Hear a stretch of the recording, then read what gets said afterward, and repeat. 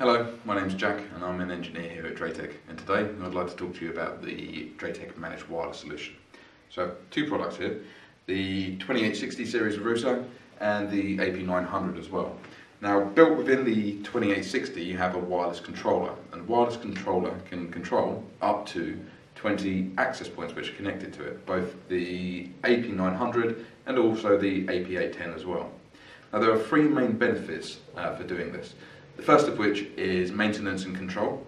So within the controller here, you can do config changes, you can make config backups, um, you can update firmware, do all of the kind of control and maintenance that you would like to do.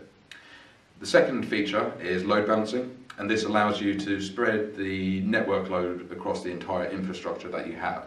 So basically, if a certain threshold bandwidth is being used on one access point, it can disassociate clients and get them to connect in elsewhere on the network and you know, make sure that you get the best out of the equipment that you have.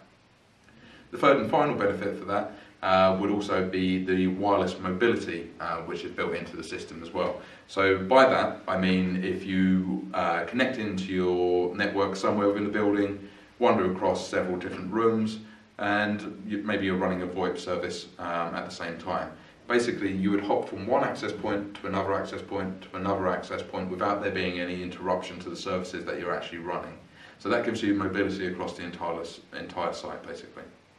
Now if you'd like to find out more about this then please go to the draytek.co.uk website, um, check out our FAQ section, uh, there's lots of you know kind of details about it there. Um, and if you do have any questions about it then you know please do feel free to get in contact with us and we'll be happy to help.